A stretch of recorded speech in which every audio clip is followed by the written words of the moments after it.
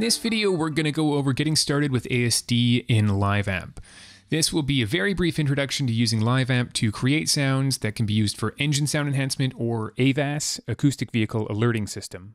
We can also use LiveAmp to tune engine order reduction, but we'll save that for a separate video. In the final stages of tuning a production system, we would connect LiveAmp to the vehicle head unit and listen to the sounds we've created through the vehicle's sound system, ideally while getting real-time parameter data from the CAN bus. However, much of the initial sound design work can be done from the bench using just LiveAmp on Windows PC and a set of computer speakers or headphones plugged into the sound card. And we can do this by using a feature called ASD Desktop Auditioning. So we click on the ASD Desktop Auditioning tab and start a new project. You should end up on the ASD tab. If not, just click up here in the toolbar and let's go to Library Setup. So here we have all of the configuration parameters that we would need to adjust before we really get into building our sound design project. Only a few switches here in ASD. Engine order reduction is disabled by default when using the desktop auditioner.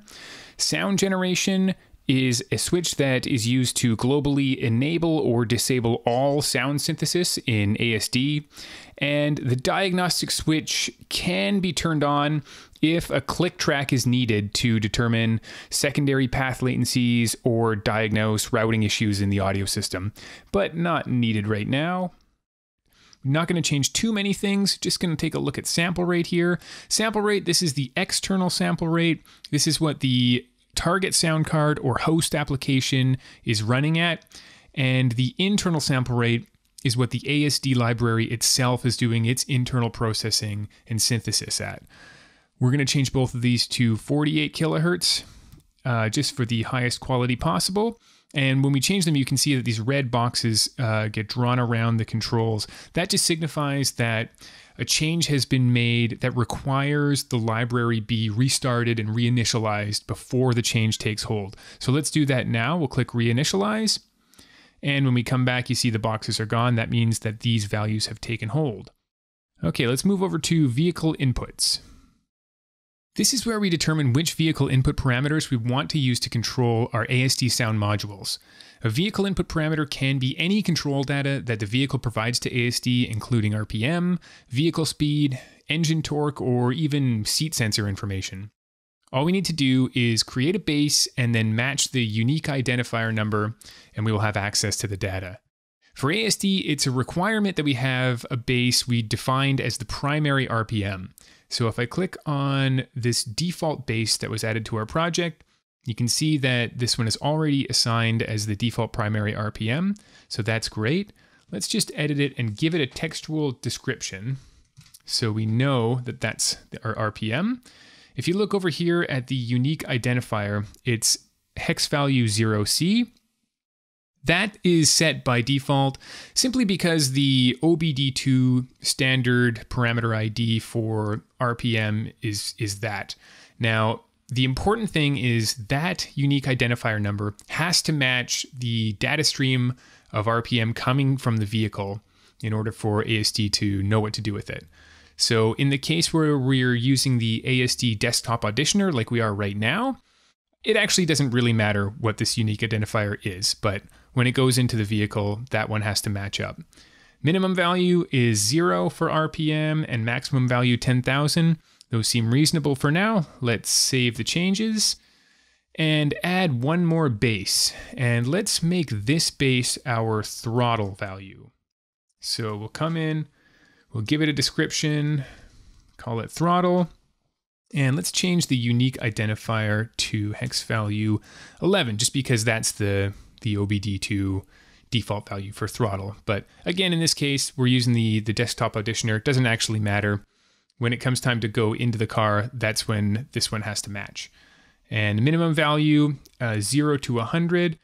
Uh, typically, that, that we get throttle values of 0 to 100%, so that's a good place to start for that one. You can see that the default primary RPM is not checked. That's great. We only want one of our bases to be the default, and that one's already set. So let's go save changes.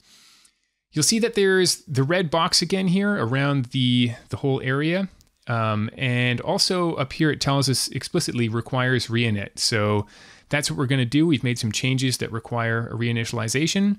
Let's click the reinitialization button and the red boxes go away. We see valid. That's great. Now we can move on to uh, setting our ASD modules. So probably the first thing we want to do is just grab an output module and put it down here on the graph. You can see that we have uh, only one output channel, channel zero. Now that's because in our library setup tab, we have control output channels as one. Now, if we wanted a stereo project, we could set this to two, or we could do multi-channel, but for now, let's just set it to one and keep it simple. So let's take a mixer um, and drop it down in front of the output. A mixer is going to be helpful because all of our audio sources and other modules that we put down, we only have one output in this session. So by adding a mixer, we can um, put all of these audio sources into the mixer and then take the output of the mixer and pipe it to the output channel. So we just grab, uh, we click on this little diamond here, left click and drag across, and we connect it to the output.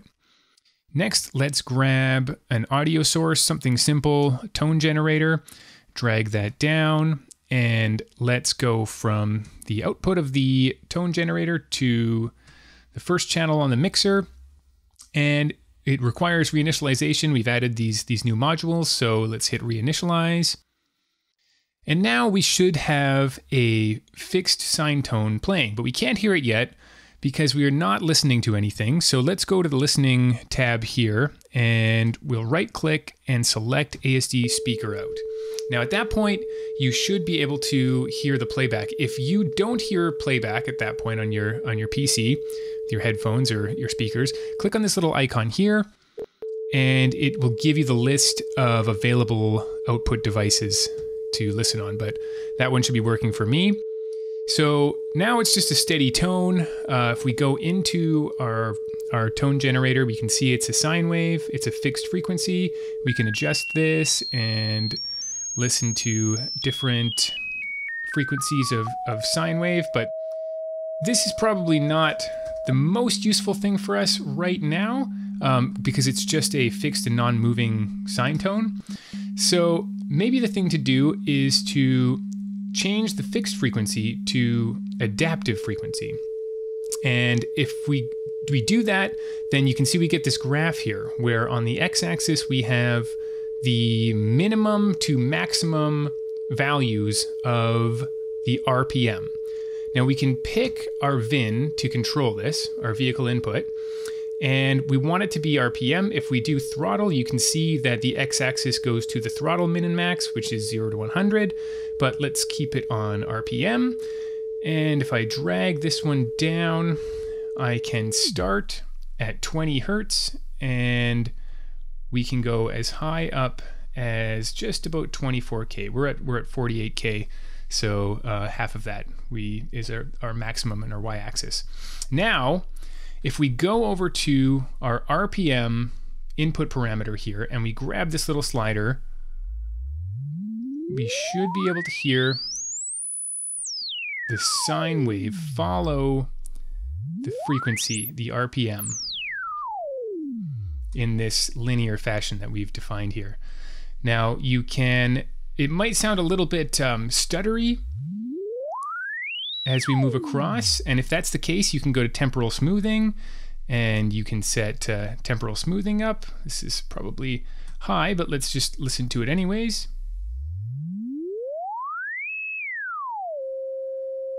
And you can see it has a smoothing effect.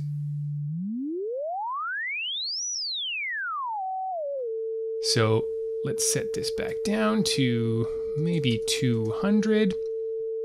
If we want to add nodes to this to make the, the curve a little less linear, we can do that. If we want to set the highest bound to be not quite at the, the boundaries of our frequency, we can do that too. And then you can see how it tracks. So if we wanted to add another noise generator, just uh, another um, simple audio source, we could add a noise generator. Let's make this brown noise. And let's go into our mixer. And we need to reinitialize, so we reinitialize. And now we actually have brown noise playback as well.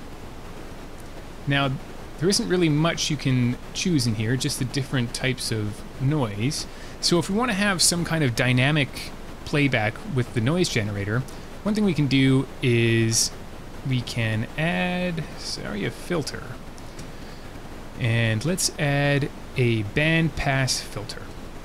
Now we can take this line that we've drawn here and just hit the delete key and then draw the line from brown noise into our bandpass filter, draw the output of that into the mixer, and then we can open this up. Oh, let's reinitialize so that it actually works. Okay, so now we have a bandpass filter playing our noise. Um, if we move this down, we should be able to hear how it affects the actual noise. Now this is a fixed frequency bandpass filter right now. We have um, cutoff and, and Q, but we can also make this one an adaptive frequency as well. And if we draw a curve, much like the one that we did for our sine wave, um, you can see when I move the RPM up, now the, the filter that we've added changes its frequency based on RPM. But you can also choose throttle if you want to have a different vehicle input parameter control the noise playback and the filter. So if that's the case, now our throttle parameter is going to be controlling. So we have one vehicle input parameter for our sine wave, and then another one for our throttle.